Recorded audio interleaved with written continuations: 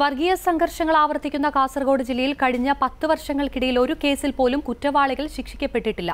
അഞ്ഞൂറോളം വർഗീയ സംഘർഷ കേസുകളാണ് ഈ കാലയളവിൽ കാസർഗോഡ് രജിസ്റ്റർ ചെയ്തിട്ടുള്ളത്. കൊലപാതകമടക്കമുള്ള നൂറ്റി ഇരുപത്തിയഞ്ചോളം കേസുകളിൽ പ്രതികൾ വിട്ടയക്കപ്പെട്ടപ്പോൾ ബാക്കി കേസുകളിൽ കോടതികളിൽ വിചാരണകൾ നീളുകയുമാണ്. ഏഷ്യനെറ്റ് ന്യൂസ് അന്വേഷണം. ഇത് കുമ്പള ആര്യക്കാട് ഇസ്മായിലിന്റെ വീട്. മത്സ്യത്തൊഴിലാളിയായിരുന്ന ഇസ്മായിലിന് മകൻ മുഹമ്മദ് അസ്രുദ്ദീനെ നഷ്ടപ്പെട്ടിട്ട് ഏഴ് വർഷങ്ങളായി. കാസർഗോഡ് കടന്തക്കാട് നിന്നും വീട്ടിലേക്ക് ബസ് കാത്തു നിൽക്കുമ്പോഴാണ് റോഡരികിൽ വെച്ച് ഒരു സംഘം ആളുകൾ കുത്തിക്കൊന്നത്. വിദേശത്തേക്ക് ജോലിക്ക് പോകാൻ തയ്യാറെടുക്കുന്നതിനിടയിലായിരുന്നു കൊലപാതകം. അതോടെ തകർന്നത് ഈ കുടുംബത്തിന്റെ പ്രതീക്ഷയാണ്. മൂന്ന് വർഷം മുമ്പ് കേസിലെ പ്രതികളെയെല്ലാം തെളിവിന്റെ അഭാവത്തിൽ കോടതി വെറുതെ വിട്ടു എന്റെ മോൻ എന്താ നിങ്ങളെ ചെയ്തത്? എന്റെ മോനെ നിങ്ങളിങ്ങനെ ആക്രമിക്കണമെങ്കിൽ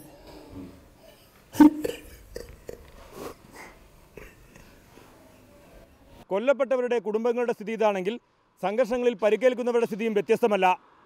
കൂലിപ്പണിയും മറ്റും ചെയ്ത് കുടുംബം പുലർത്തുന്നവർ തളർന്നു വീഴുമ്പോൾ കുടുംബത്തിന്റെ ഉപജീവനം തന്നെ വഴിമുട്ടുകയാണ്. കാഞ്ഞങ്ങാട് വാണിയമ്പാറയിലെ ശ്രീജിത്ത് തളർന്നു വീണിട്ട് ആറു വർഷമായി.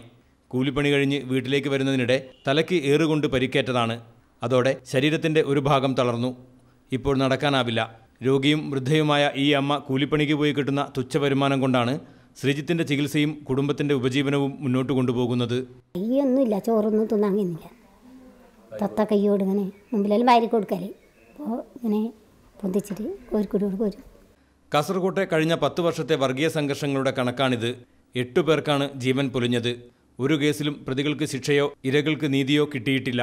ഒത്തുതീർപ്പിലൂടെയും സാക്ഷികൾ കൂറുമാറിയും കാലമേറെ ചെല്ലുമ്പോൾ പരാതിക്കാർ പിന്മാറിയുമൊക്കെ കേസുകൾ ദുർബലമാകുമ്പോൾ പ്രതികൾക്ക് സുഖവാസം ഇരകൾക്ക് തീരാ ദുരിതവും. പ്രശാന്ത് നിലമ്പൂർ ഏഷ്യാനെറ്റ് ന്യൂസ് കാസർഗോഡ്.